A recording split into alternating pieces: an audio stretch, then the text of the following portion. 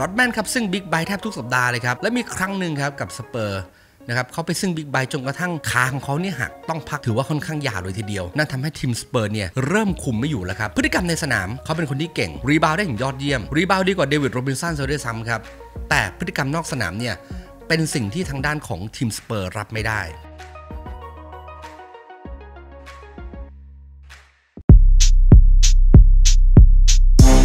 Main Stand Stories เรื่องราวกีฬาที่มากกว่าผลการแข่งขัน In the Zone by วัชรินทร์จตุชัย สวัสดีครับ ขอต้อนรับทุกท่านนะครับ เข้าสู่ในรายการ In the Zone นะครับ รายการที่จะพาทุกท่านนะครับ มารู้ลึกรู้จริง เกี่ยวกับในเรื่องของบริการเกมแหละครับ และในวันนี้ครับ คุณอยู่กับผม เอ วัชรินทร์จตุชัยนะครับ ที่จะมาเล่าเรื่องสนุกๆของวงการเกมให้กับเพื่อนๆฟังแหละครับ ซึ่งในวันนี้ครับผมมีเรื่องเรื่องที่จะมาเล่าให้กับเพื่อนๆฟังแหละครับ เป็นเรื่องของชีวิตห่ามๆของชายที่เรียกว่าเป็น King of Rebound นั่นก็คือเรื่องราวของเดนิสรอดแมนต้องบอกก่อนครับว่าเดนิสรอดแมนเนี่ยเป็นไอคอนของนักบาสเกตบอลหลายคนทั่วโลกเลยนะครับ โดยลีลาท่าทางการเล่นของเขาที่กวนประสาทยียวน มีเอกลักษณ์ทั้งภายในสนามและนอกสนาม เอกลักษณ์ในสนามครับก็คือการรีบาวด์ที่ยอดเยี่ยมเป็นแชมป์รีบาวด์เจ็ดสมัยติดต่อกันครับและรวมถึงว่ามีสีผมที่โดดเด่นไม่เหมือนใคร ส่วนนอกสนามครับชีวิตของเขาเนี่ยไม่ได้เรียบง่ายแน่นอนนะครับมีชีวิตที่เรียกได้ว่าหวือหวาขึ้นสุดและลงสุดเช่นเดียวกันนะครับบางคนบอกว่ามันจะมีคำคำหนึ่งครับที่เขาบอกว่าอัจฉริยะกับคนบ้านะครับมันจะมีเส้นบางๆเนี่ยที่มันกั้นอยู่นะครับระหว่างกัน ถ้าใครเลยเส้นนี้ไปอาจจะเรียกว่าอัจฉริยะ แต่ถ้าใคร เลยเส้นนี้มานิดหนึ่ง อาจจะเรียกว่าคนบ้าก็เป็นไปได้แหละครับ ต้องย้อนกลับไปนะครับเดนิสรอดแมนนะครับมีพี่น้องทั้งหมดเนี่ยราวสิทธิ์ทั้งหมด 48 คนเลยนะครับ ซึ่งจำนวนนี้รอดแมนบอกว่าเป็นพี่น้องที่เขาสรุปจำนวนได้ แต่อะไรก็ตามครับคุณพ่อของเขาเนี่ยบอกว่าจริงๆอะคือไม่ถึงหรอกพี่น้องของเขาทั้งหมดเนี่ยอยู่ที่ราวๆ26 คนเท่านั้น แต่รอนแมนบอกว่าตอนเด็กชีวิตของเขาเนี่ยมันลำบากมาก ด้วยความที่คุณพ่อคุณแม่ของเขาเนี่ยนะครับลูกเยอะมากนะครับ เยอะจนเขาแทบจะนับไม่หวาดไม่หวานเลยเขาบอกว่าบ้านเขาเนี่ยนะครับมันแทบจะเหมือนสถานเลี้ยงเด็กกำพร้าเลยนะครับ เพราะว่าทุกคนต่างต้องหากินเอาเอง แล้วครอบครัวตอนเด็กของเขาเนี่ยไม่ได้มีกินเหมือนกับครอบครัวชาวบ้านสักเท่าไหร่ครับทำให้รอดแมนเนี่ยต้องทำงานพิเศษเพื่อหาเงินมาดูแลตัวเอง แล้วก็หาเงินมาเลี้ยงครอบครัว ซึ่งรอดแมนบอกตอนเด็กๆด้วยครับบอกว่าทุกๆคนเนี่ยนะครับต้องมีหน้าที่ที่ออกไปทำงานทำงานพิเศษนอกบ้านไม่ว่าจะเป็นทำงานในซูเปอร์มาร์เก็ต ทำงานในโรงเรียนหรือที่อื่นนะครับ เพื่อเอาเงินเนี่ยมาซื้อกับข้าวนะครับ แล้วก็ทำทุกอย่างซื้อของใช้ภายในบ้าน ร่วมด้วยช่วยกันพวกนี้แหละครับ ตอนเด็กๆแน่นอนครับว่าเด็กผู้ชายอเมริกันเนี่ยมักจะเล่นกีฬาเดนนิสรอดแมนก็เช่นเดียวกันครับ และกีฬาที่เด็กผู้ชายอเมริกันเขาจะเล่นก็จะมี 2 ประเภทด้วยกันครับ ประเภทแรกก็คือบาสเกตบอลครับ อันดับที่ 2 ก็คืออเมริกันฟุตบอลเดนิสรอดแมนเล่นทั้ง 2 กีฬาเลยครับ แต่เขาชื่นชอบ บาสเกตบอลซะมากกว่า ซึ่งแน่นอนว่าบาสเกตบอลเนี่ยเขาก็เล่นกับภายในเครือพี่น้องของเขานะครับ พี่สาวเขาก็สอนเขาเล่นบาส รวมถึงเล่นกับน้องๆของเขา แต่ประเด็นก็คือว่าตัวของรอดแมนน่ะเล็กเกินไปครับ เมื่อตอนที่เขาเรียนที่ high school เนี่ยนะครับเขาบอกว่าเขาพยายามที่จะฝึกบาสเกตบอล พยายามที่จะทำทุกอย่างแล้ว แต่ด้วยความสูงที่มันสูงเพียงแค่ 168เซนติเมตรในสมัยเรียนมปลายเนี่ยทำให้โค้ชของเขาในตอนที่เรียนมปลายเนี่ยถึงก็บอกเลยเขาบอกว่าเดนิส คุณไม่มีทางเอาดีบาสเกตบอลได้หรอก คุณไม่มีทางประสบความสำเร็จในกีฬาชนิดนี้ได้แน่นอน เพราะว่าคุณตัวเล็ก คิดดู แค่การ lay up ธรรมดาธรรมดา คุณยังไม่สามารถทำได้ แล้วคุณจะไปเอาอะไรได้กับบาสเกตบอลล่ะ แม้ว่าสิ่งที่โค้ชบอกนะครับ บอกว่าจะปรามาสว่าเดนิสรอดแมนเนี่ยไม่มีทางเล่นบาสเกตบอลได้ดีก็ตาม แต่ก็ตามครับเดนิสรอดแมนเขาบอกว่า ตัวเขาเนี่ยคือไม่เชื่อหรอกเขาคิดว่าตัวเองสามารถเล่นได้ดีนะครับ แต่สุดท้ายเนี่ย เพื่อนๆก็บอกเขาซ้ำบอกว่ารอดแมนคุณไม่มีทางเล่นบาสได้ดีแน่นอนเขาจึงเปลี่ยนชนิดกีฬาครับลองไปเล่นอเมริกันฟุตบอลดู พอเราไปเล่นอเมริกันฟุตบอลเสร็จปั๊บเนี่ยสิ่งที่ตามมาก็คือว่าเขาก็เล่นมันได้ไม่ดีเหมือนเดิมครับ จนเขารู้สึกเซ็งกับกีฬาทั้งสองชนิดนี้ แต่เขายังมีครอบครัวที่ต้องดูแลครับเขายังมีเงินที่ต้องหารอดแมนบอกว่าโอเค ผมไม่เล่นกีฬาบาสเกตบอลแล้วผมไม่เล่นอเมริกันฟุตบอลแล้วผม ขอไปเป็นพนักงานทำความสะอาดแทนละกันรอดแมนจึงมาสมัครงานเป็นพนักงานทำความสะอาดครับที่สนามบินดัลลัสซึ่งแน่นอนว่ามันก็ทำเงินให้เขาได้ในระดับหนึ่งนะครับ แต่แล้วก็รวมถึงมีทิปต่างๆพวกนี้ด้วย แต่สุดท้ายครับเขาก็บอกว่าชีวิตของเขาเนี่ยมันไม่ควรหยุดอยู่ตรงแค่นี้ครับเขาจึงกลับมาเรียนต่อนะครับ แล้วก็ได้ทุนเข้าที่มหาวิทยาลัย Southern Oklahoma State ซึ่ง Southern Oklahoma State นี่แหละครับ เป็นที่ที่บอกว่ายังเชื่อมั่นในตัวรอดแมนอยู่ คือก่อนหน้าที่จะมาเรียนที่ Southern Oklahoma State เนี่ย เดนิสรอดแมนนะครับเขาเคยถูก retire มาแล้วนะครับ ด้วยเกรดเฉลี่ยที่มันต่ำเตี้ยเรี่ยดินมากจนกระทั่งมหาวิทยาลัยเนี่ยเชิญออก แต่ Southern Oklahoma State ครับบอกว่าเดนิสคุณเป็นนักบาสเกตบอลที่มีพรสวรรค์มาก คุณต้องโชว์มันให้คนอื่นเขาเห็นว่า คุณเนี่ยมีความพยายามพอ และคุณสามารถที่จะเอาดีกับมันได้ และแน่นอนครับว่าเดนิสโรดแมนเนี่ยเป็นคนที่บ้าคำเยินยอด้วย เขาบอกว่าผมจะโชว์ให้พวกคุณดูว่าผมมีของขนาดไหน สุดท้ายครับ กับที่ Southern Oklahoma เสร็จทุกอย่างก็ไปได้ด้วยดี จนกระทั่งแมวมองของ NBA ครับ บอกว่าคนนี้มีของและเด็กคนนี้มีแวว ซึ่งในการ draft ปี 1986 ครับเดนิสโรดแมนเนี่ยได้เข้า draft ใน NBA ด้วย แล้วเขาก็ถูก draft ในรอบที่ 2 ครับ อันดับตัวเลือกที่ 27 โดยทีม Detroit Pistons ซึ่งที่นั่นแหละครับรอดแมนบอกว่าเป็นเหมือนที่ บ่มเพาะเป็นที่ขัดเกลาให้กับเขาเลย ซึ่งโค้ชของเขาตอนนั้นก็คือชักเดลี่ชักเดลี่ครับเป็นโค้ชยอดโค้ชของ NBA เลย แต่เพื่อนๆในทีมของเขาครับ ไม่ว่าจะเป็นริกมาฮอนไอเซอาห์โทมัสโจดูมาร์ส บิลแลมเบียร์เหล่าสี่จตุรเทพนี่แหละครับ คือเป็นคนสอนในเรื่องของเกมการป้องกัน ให้กับทางด้านของเดนิสรอดแมน โดยเฉพาะริกมาฮอนครับ ริกมาฮอนเคยสอนรอดแมนบอกว่า นายเมื่อเจอคู่ต่อสู้ จงคิดว่ามันเป็นลูกหมา แล้วเข้าไปขย้ำมันให้ได้ ส่วนไอเซอาห์โทมัสก็สอน trick ต่างๆ ในเรื่องของเกมการป้องกันครับ โจดูมาร์สก็เช่นเดียวกัน นั่นทำให้เดนิสรอดแมนเนี่ยนะครับเรียกได้ว่าได้วิชาเต็มที่เลย Detroit Pistons ครับในยุคนั้นที่มีเดนิสรอดแมนไอเซอาห์โทมัสโจดูมาร์สบิลแลมเบียร์รวมถึงริกมาฮอนเนี่ยถูกขนานนามเขาว่าเป็น bad boy หรือเรียกได้ว่าเป็นทีมที่เกเรที่สุดในยุคนั้นเลย ถึงลูกถึงคนเลือดตกยางออก ป้องกันกันแบบถึงเนื้อถึงตัว เรียกได้ว่า เป็นเกมที่นอกจาก dirty game แล้วเนี่ยนะครับ มันเป็นเกม power play อย่างแท้จริง อัดกันอย่างมันมากครับตอนนั้น ซึ่งรอดแมนเนี่ยเขาก็ทำหน้าที่ทุกอย่างเขาได้ดี เป็นคนที่กล้าชน กล้าลุย และไม่กลัวการบาดเจ็บ ซึ่งโค้ชชักเดลี่ครับบอกว่าได้มอบหมายหน้าที่หนึ่งให้กับรอดแมนครับก็คือ คุณต้องเป็น ace ของทีม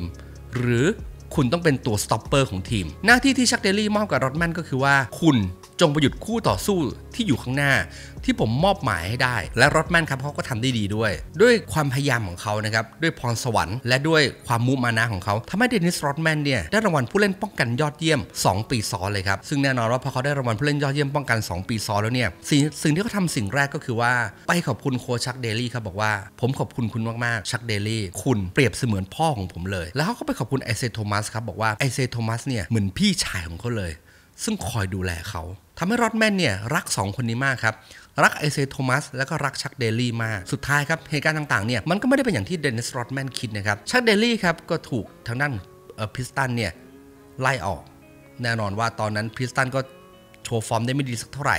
ทำให้เดนิสรอดแมนตอนนั้นอยู่ในภาวะที่ดิ่งต่ำสุดนะครับ และเดนิสรอดแมนเนี่ยก็ถูก trade มาที่ San Antonio Spurs เมื่อถูก trade มาที่สเปอร์ครับเขามีปรัชญาชีวิตปรัชญาใหม่เลยครับ หลังจากที่มนุษย์เราเมื่อมันสู่จุดภาวะที่มันดิ่งที่สุด จนกระทั่งมาเจอชีวิตใหม่ รอดแมนบอกว่าเขาจะเป็นคนใหม่ และเขาจะมีอิสระในชีวิต ไม่มีใครมาบังคับเขาได้ ปรัชญานี้รอดแมนใช้มาเรื่อยมาเลยครับตั้งแต่อยู่สเปอร์ และสิ่งที่รอดแมนทำก็คือว่าอันดับแรกก็คือ เขาย้อมสีผมครับเขาย้อมสีผมครับ เพราะว่าเขาได้ไปดูในหนังที่ทางด้านของเวสลีย์สไนปส์แสดง และแน่นอนว่าเขาย้อมสีเหมือนเวสลีย์สไนปส์แต่เขาย้อมมาหลายสีครับสีทอง สีแดง สีน้ำตาล สีเขียว เรียกได้ว่ามีทุกสีที่เดนิสโรดแมนทำตอนอยู่กับสเปอร์เลย และแน่นอนเขาว่า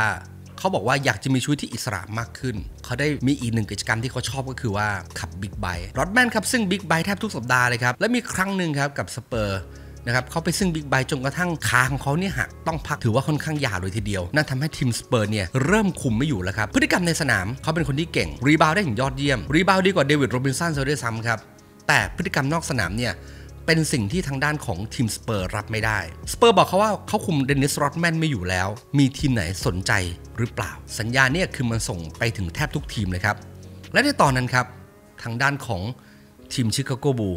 ซึ่งนำโดยไมเคิลจอร์แดนแล้วก็สกอตตี้พิพเพนจอร์แดนครับกลับมาจากการเล่นเบสบอล กลับเข้ามาสู่ NBA ในอีกครั้งหนึ่งครับ และสิ่งที่ตามมาก็คือว่าฟิลแจ็กสันครับ อยากที่จะได้คน rebound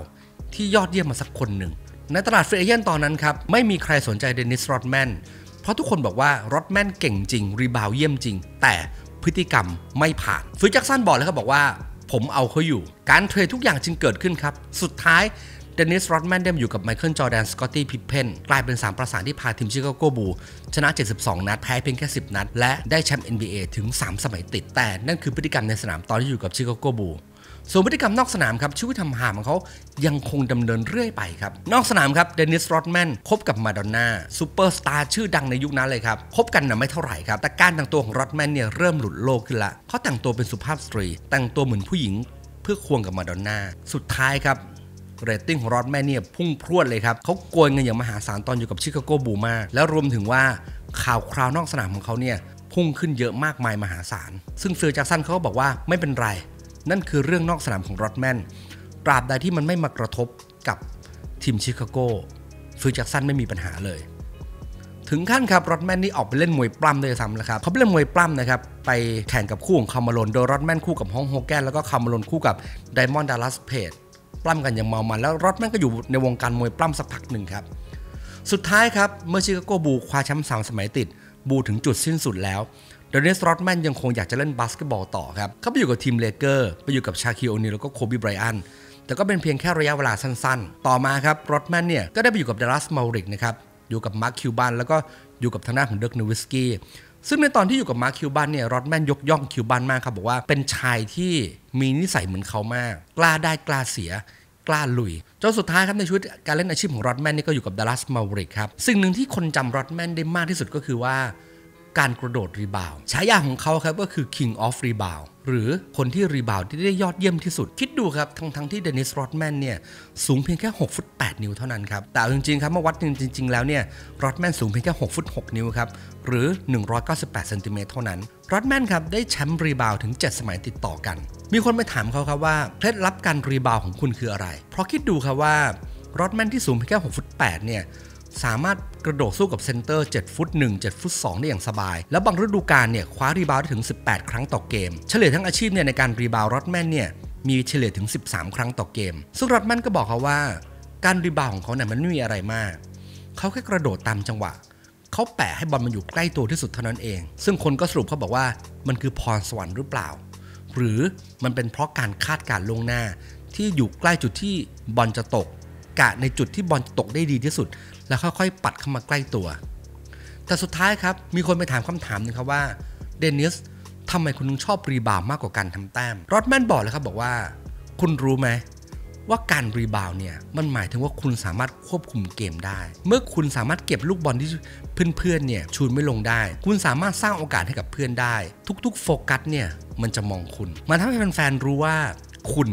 คือจุดที่เด่นมาก แต่ความห่ามของรอดแมนมันก็ไม่เพียงแค่ในสนามเท่านั้นครับ หลังจากจบอาชีพการเล่นบาสเกตบอลไป สิ่งที่เขาทำต่อก็คือว่าเขาได้ไปมีเพื่อนใหม่คนหนึ่งครับ อยู่ที่ประเทศเกาหลีเหนือ โดยคนคนนั้นก็คือ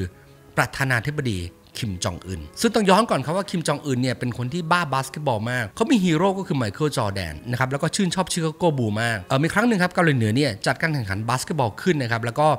ทางเกาหลีเหนือเนี่ยได้มีการไปเชิญ เดนนิสรอดแมนมา ซึ่งรอดแมนก็มาครับ แล้วก็ขนกับเพื่อนๆ NBA มาอีกบางส่วนด้วย ในตอนแรกครับรอดแมนบอกว่าเขาคิดว่าคิมจองอึนเนี่ยจะเป็นอย่างที่อเมริกาบอกว่านิสัยไม่ดี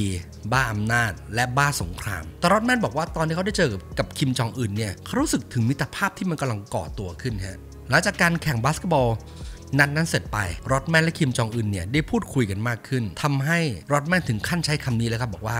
คิมจองอึนคือเพื่อนรักของผม แต่กลับกันครับในขณะที่อเมริกาเนี่ยกลับบอกว่าเดนิสโรดแมนเนี่ยเป็นคนทรยศชาติ เป็นหายนะต่ออเมริกา เพราะอเมริกาเนี่ยไม่ถูกกับเกาหลีเหนืออยู่แล้วครับ แต่แน่นอนครับว่าไม่ว่าใครจะว่าอย่างไรก็ตามครับ ชีวิตของเดนิสโรดแมนเนี่ยถือว่าเป็นชีวิตที่มีสีสันที่สุดชีวิตหนึ่งเลยก็ได้ ตั้งแต่เป็นยอดนักบาสเกตบอลใน NBA รวมถึงตั้งแต่ชีวิตนอกสนามในสนาม มีฝีมือ โดดเด่นเรื่องการรีบาวด์การแต่งตัวก็ไม่แพ้ใครจะแสดงหนังฮอลลีวูดด้วย รวมถึงชีวิตของรอดแมนเนี่ยเขาบอกว่าเขาคุมแล้วครับที่ใช้ชีวิตที่สุดขนาดนี้แต่นี่แหละครับก็คือเรื่องราวนะครับของบริการเกมนะครับใน Main Stand เพื่อนๆสามารถติดตามชมนะครับเรื่องราวของ Main Stand ได้นะครับในช่องทาง Facebook Main Stand นะครับหรือใน YouTube Main Stand และในช่องทาง Podcast ไม่ว่าจะเป็น Apple Podcast SoundCloud Podcast หรือ Spotify Podcast ครับ และในวันนี้ครับ ผมเอ๋วัชรินจตุชัยนะครับ ในรายการ In the Zone ก็ขอลาทุกท่านไปก่อนนะครับ พบกันใหม่โอกาสหน้านะครับ สวัสดีครับ